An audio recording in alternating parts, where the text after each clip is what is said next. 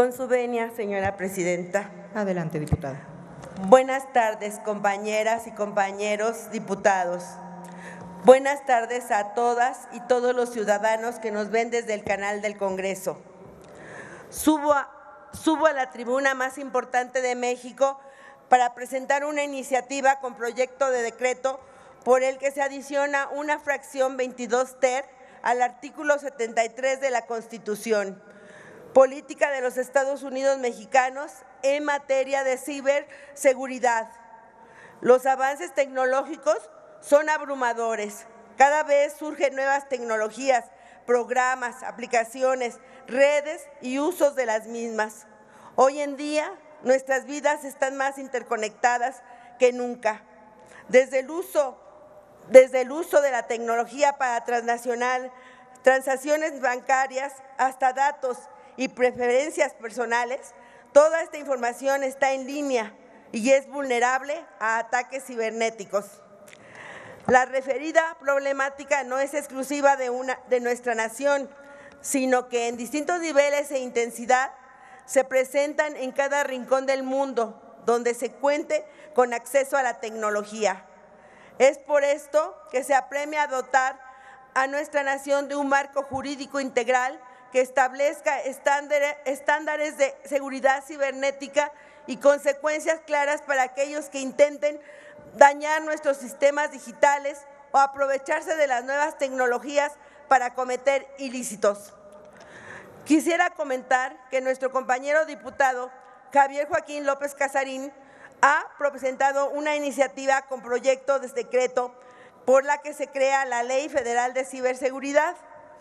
Y por otro lado, un grupo de diputadas y diputados de esta legislatura, incluyendo a la que suscribe la presente, se han dado a la tarea de presentar una iniciativa de reforma al inciso A, fracción 23 ter del artículo 73 de la Constitución Política de los Estados Unidos mexicanos a fin de que se faculte al Congreso de la Unión a expedir las leyes generales en materia de delitos cometidos a través de las tecnologías de la comunicación y de la información, así como a la seguridad digital. Ambas iniciativas representan un esfuerzo para legislar sobre el tema de fundamentos y motivaciones adecuadas, en tanto una está en espera del procedimiento en las iniciativas constitucionales en la Comisión de Puntos Constitucionales, la otra se encuentra en proceso de análisis en la Comisión de Seguridad Ciudadana,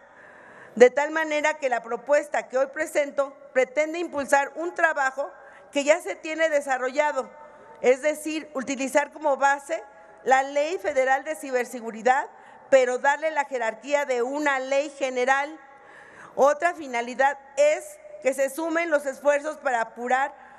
una ley en materia de ciberseguridad cuyos efectos ya son de urgente aplicación, sobre todo considerando que a pesar de que se pareciera menos y complicado el procedimiento de discusión y dictaminación de una ley federal respecto a una general, de darse su aprobación tendría menos jerarquía de la que evidentemente se requiere. En consecuencia, propongo reformar el artículo 73 de la Constitución Política de los Estados Unidos Mexicanos a fin de agregar una fracción 22 ter en el que se establezca la facultad del Congreso de la Unión a expedir la Ley General en materia de ciberseguridad y derechos de las personas usuarias de servicios informáticos y de comunicación. Una ley general de ciberseguridad proporcionaría un marco legal coherente y uniforme en todo el país,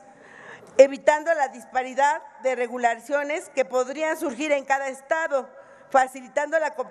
colaboración y coordinación entre las diferentes autoridades estatales y federales, otorgando una eficiencia administrativa y facilitando la cooperación entre diferentes autoridades estatales. Una ley general sobre ciberseguridad en México mejorará la protección de datos y la seguridad digital de la ciudadanía, las empresas, las instituciones públicas, estableciendo estándares